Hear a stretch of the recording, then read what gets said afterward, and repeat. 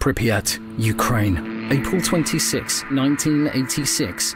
Soviet engineers are tasked with conducting a safety test of Reactor 4 at the Chernobyl nuclear power plant. Unfortunately, the third shift engineers on duty have not been trained for the procedure.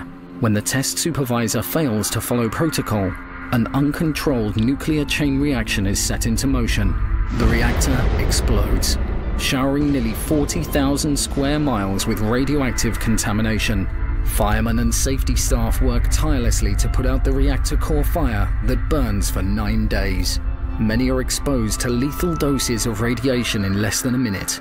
By December 1986, Reactor 4 is entombed in a protective sarcophagus to reduce the spread of radioactive contamination.